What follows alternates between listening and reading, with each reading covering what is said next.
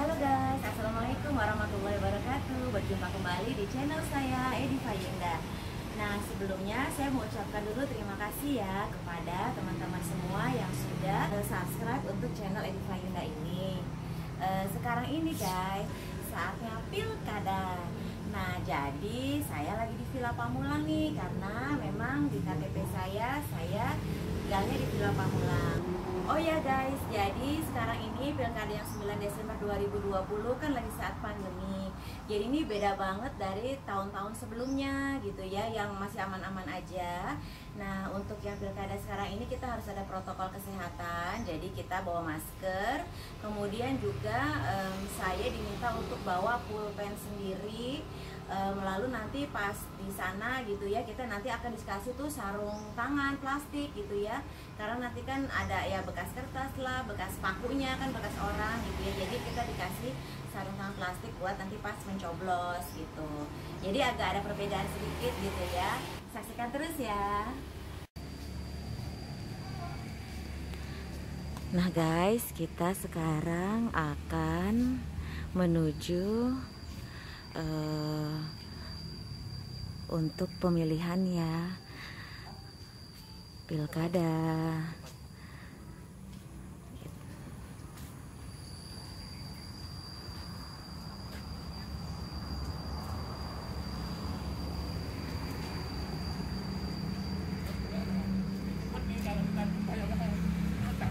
Nah ini sekarang saya sudah mencapai ke TPS 34 di Villa Pamulang.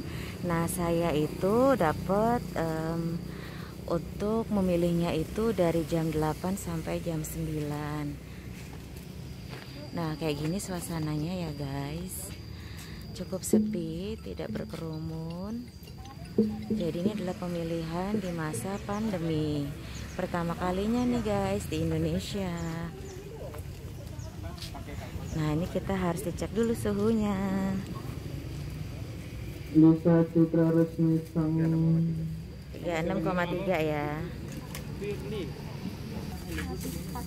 Ini kita harus menyerahkan KTP untuk memastikan kita sebagai pemilih. Ya. tanda tangan.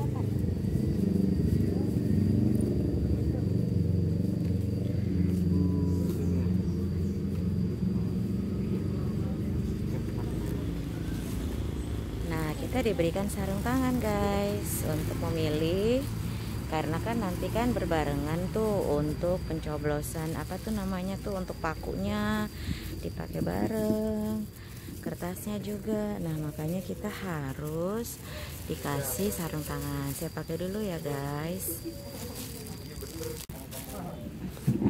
Nah ini Bu Ivani Yulianda. saya dipanggil Yuliananda. guys ya. Nah ini saya segera memilih ya guys. Bismillah siapa yang saya pilih nih untuk pilkada Depok? Ada dua. Yang satu Pradi dan yang satunya lagi Muhammad Idris. Oke. Oke sekarang kita buka sarung tangannya. Buang boleh. buang ya. Urut. Kita buka sarung tangannya dibuang. Oke. Oh kelingkingnya ya. Ya, tinggal tisu kalau mau diulang. oh ya. Ibu Zahra Azza Zahra Rafika nomor urut 101. oke sudah. Terima kasih Nah guys, ini saya sudah selesai memilih. Lihat, saya sudah dikasih tinta di kelingking saya kan. Nah ini banyak ya yang memilih ya untuk pilkada Kota Depok. Nah guys, tadi eh, seperti itu ya untuk em, apa pilihan pemilihan kepala daerahnya ya. Nah ini saya sudah di em, dikasih tinta gitu ya untuk tangan saya. Ya jadi teman-teman juga jangan sampai hilang suaranya ya wajib mencoblos. Mungkin males-malesan di awalnya, tapi nanti pas udah di saat hanya itu pasti juga seru banget banget karena ini pengalaman kita yang mungkin tidak terulang lagi ya karena insya Allah nanti di bulan depan kita sudah uh, sembuh pandeminya gitu ya sudah hilang. Uh, pemungutan suara ini harus anda gunakan suara anda sebaik-baiknya agar Indonesia bisa lebih baik lagi. Uh, terima kasih yang sudah melihat video saya ini. Jika anda suka silahkan berkenan di subscribe kemudian like untuk channel saya ini lalu berikan komentarnya yang positif ya guys ya. Agar saya makin bersemangat untuk memberikan video-video yang terbaik buat teman-teman semua. Dan setelah itu jangan lupa di share